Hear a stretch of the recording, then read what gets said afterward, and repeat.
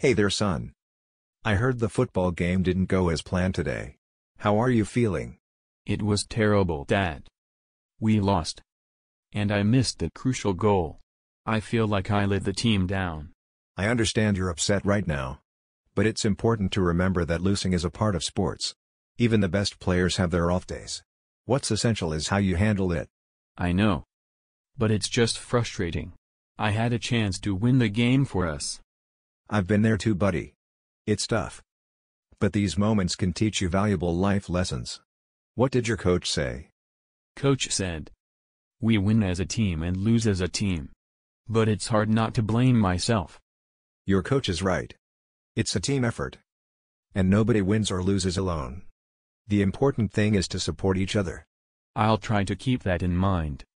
But I'm still feeling pretty down. That's natural. But remember even in the face of defeat there are positives.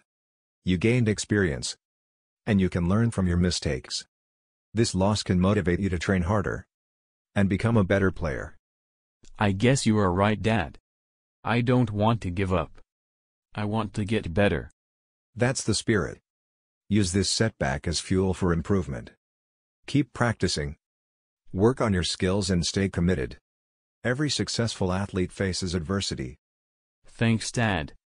I'll give it my all and work towards the next game. I am proud of your determination.